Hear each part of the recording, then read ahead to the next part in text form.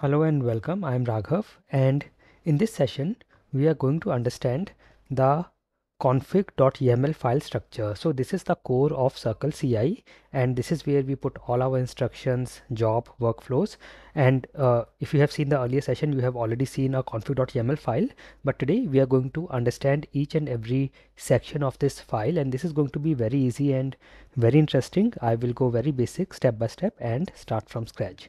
So let's get started and before I I will take you to the config file let us see a mnemonic and let's try to understand and learn this mnemonic and keep it in our minds. Very jumpy elephants swim really well. So if you keep this in your mind, you can actually understand the sections or the structure of the config.yaml file in Circle CI.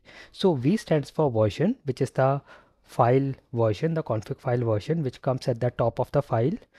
J is for jobs, where we define our tasks that we have to run. E is for executor where we define the execution environment like Docker, virtual machine, Windows, Mac, Linux, etc. where this job will run. S is for steps which are the list of actions inside a job. So every job we can have multiple steps. So S is for steps. Then R is for run which are the commands to execute. And then finally W is for workflows where we say that these are the jobs to run or in which order these jobs should be run okay? So in a moment I will show you the config file and this will be very very clear. So just remember this mnemonic very jumpy elephants swim really well. Okay? And this is what it what are the sections? Version jobs executors steps run and workflows. This is what we have seen here as well. Okay? So with this knowledge and keeping this in mind let's go and see a very very basic config.yaml file. Okay. Now in case you have followed the last earlier sessions uh, we had already created a config.yaml file. You can see here. This is also a basic file. Here we have version then we have jobs then we have the st steps in the job. This is the job name. We have the executor which is docker here. Then we have the steps of the job here we are doing checkout and then running these commands. So this is the run section.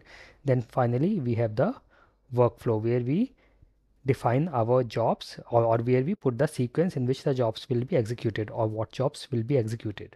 Okay.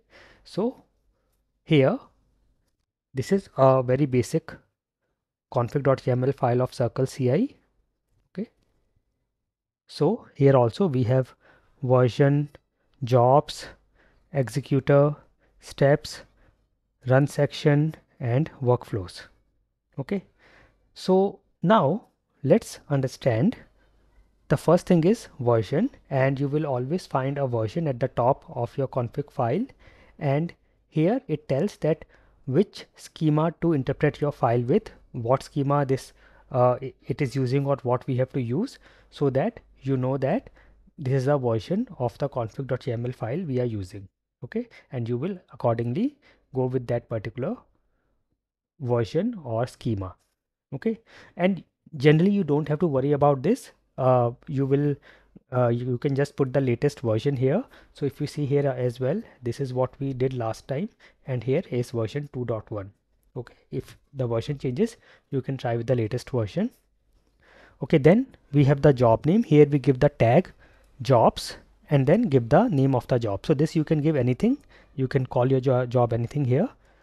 All right. And then we have the executor. So this is the execution environment where this instructions or the job that you are giving here where will it get executed? So here you can uh, we can have a docker image or we can have virtual machines. We can have windows mac linux etc okay? So circle ci offers all these environments docker linux virtual machine mac os windows gpus and vms so here you can put your executors.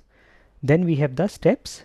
So what steps we have to do for this job? So here in this particular config file the step is we have to check out the code.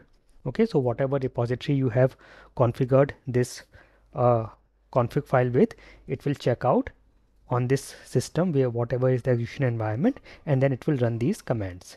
So here now you may have seen that in some jobs you may have to check out in some other jobs you may not have to check out. So it depends on what you have to do.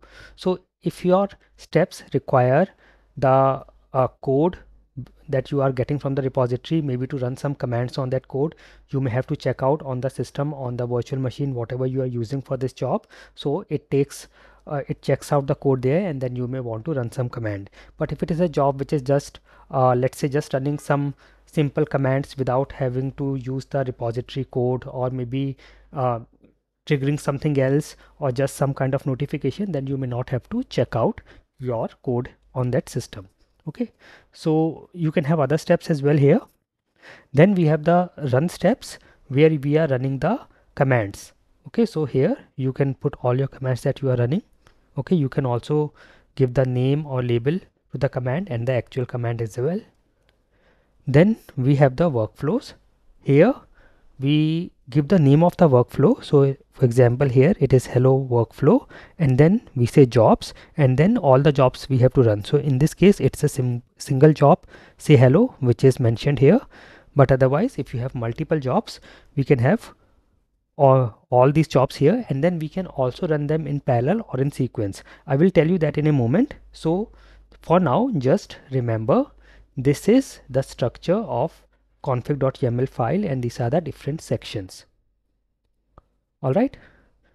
So now we have seen all these sections version jobs docker or docker is actually executor. It can be docker or any other executor as well. So the right thing will be docker executor here. But in this particular config file it is docker.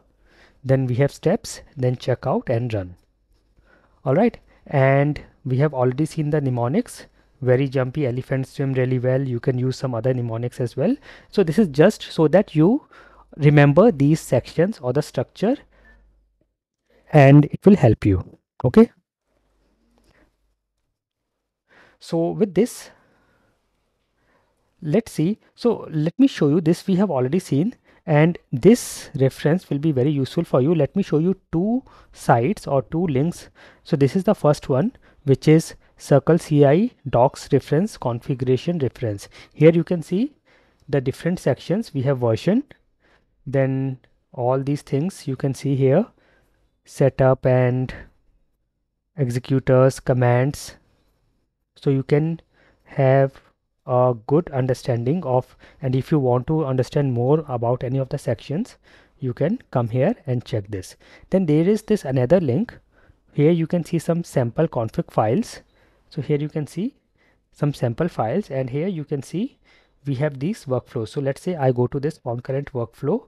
Concurrent means it will run in parallel. So you can see we have two jobs here. So we have build job and test job.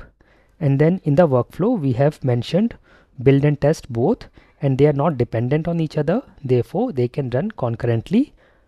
Otherwise if we make if we have some dependency they will run sequentially. So let us see an example. If i go to sequential workflow here you can see again we have build job and test job. And here you can see we have in the workflow we have first mentioned build and then we have mentioned test but we have also mentioned this requires the build job. So that means build job will always run first and then the test job. Okay. Then we can also have approval job where we can have a approval step. So here you can see this job here is here we have said it requires approval. So if you need some manual approval before uh, you know continuing to the next job you can also have a approval step okay so you can also check this link will be very useful okay and with this you will have a good understanding of your config.yml file I hope this was useful. I will see you soon. Thank you for watching and never stop learning.